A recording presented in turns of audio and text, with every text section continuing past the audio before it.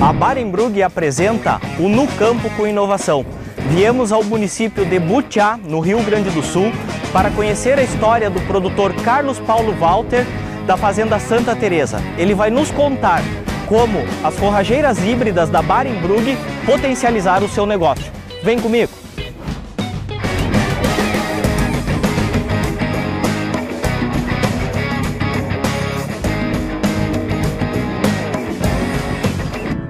Sou o Carlos Paulo Walter, estou aqui na Fazenda Santa Teresa desde 1974. Eu sou a Paula, eu sou a filha mais velha do Carlos e agora quem opera é o pai e eu em parceria para desenvolver as atividades. A gente começou com 600 hectares, hoje estamos com mais ou menos 4.200 hectares. E a pecuária a gente desenvolve em torno de 1.800 animais e em torno de 1.200 eh, hectares de lavoura de soja, milho e arroz. Nós conhecemos a Barenbrug através da, do agro, uh, pelo Eloir. Foi bem importante uh, a apresentação dele, não, não nos vendeu a semente apenas, ele nos vendeu todo o pacote, trabalhou a importância da gente fazer a implantação correta, a gente usou já vários cultivares. Quando a gente introduziu caiana sabiá, a gente viu uma diferença muito grande em ganho de peso, um crescimento mais acelerado, capacidade de suporte muito grande, uma palatabilidade muito alta, especialmente por animais mais jovens. A Barenbrug entra no nosso sistema que a gente almeja hoje, que é esse sistema de rotação com a agricultura, acrescentar ao sistema essa, uh, esse aumento de matéria orgânica, esse aumento de sistema radicular que vai uh, proporcionar um melhor solo e, consequentemente, a longo prazo, maior produtividade.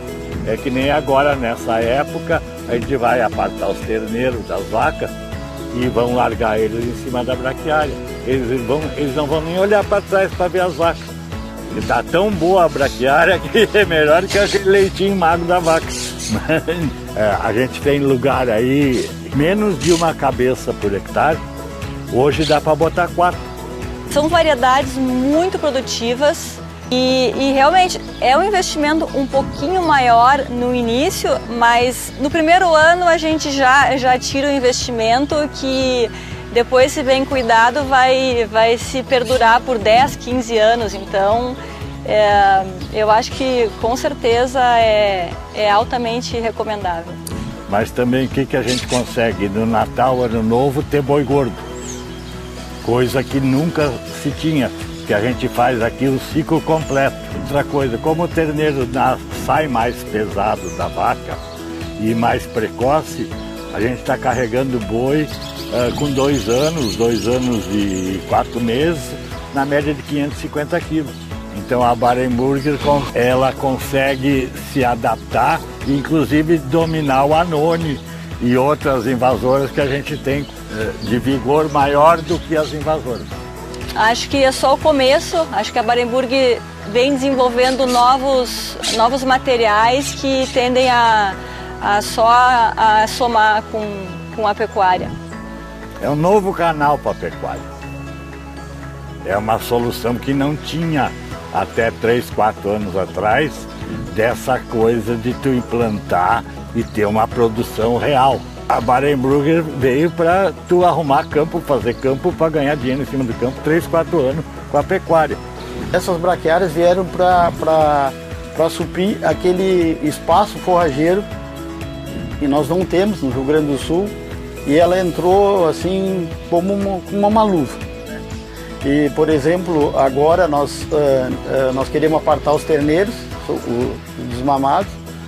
Se fosse em outros tempos, nós não teria o que ofertar para o terneiro, porque o azevém, por enquanto, não, não tem em lugar nenhum. Então ele veio para suprir todos esses vazios forrageiros. Eu, na minha opinião, até pode ser que tenha melhor, mas Acho difícil. Ela veio para. Em, em, matéria de ganho de peso, eu tive, eu tive aqui no, no, numa caiana com 40 hectares, com 240 vacas com cria ao pé. Mas foi muito bom manter julgado.